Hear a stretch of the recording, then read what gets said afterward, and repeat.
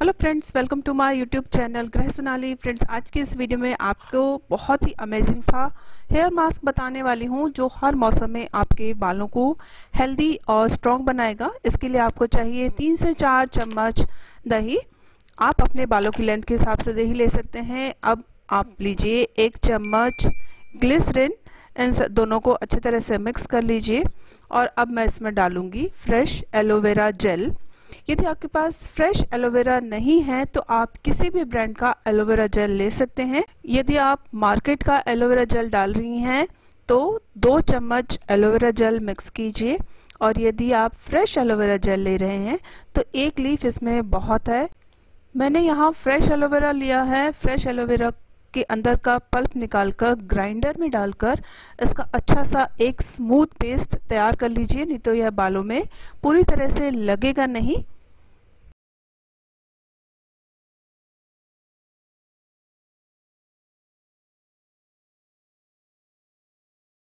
मैंने यहाँ पर फ्रेश एलोवेरा जेल को मिक्सर में डालकर अच्छी तरह से पीस करके इसका स्मूथ पेस्ट तैयार कर लिया है।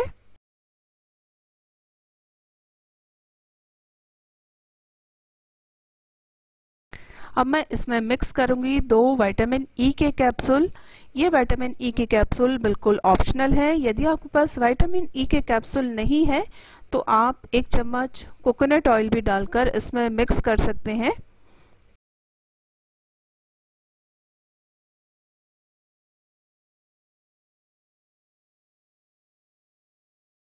इन सबको अच्छी तरह से मिक्स कर लीजिए और नहाने से लगभग आधा घंटा पहले इसे अपने बालों में लगा लें और आधे घंटे के बाद अपने नॉर्मल शैम्पू से जो भी आप शैम्पू यूज़ करते हैं उससे अपने बालों को वॉश कर लीजिए। इसे लगाने के बाद आपको कंडीशनर लगाने की भी ज़रूरत नहीं होगी।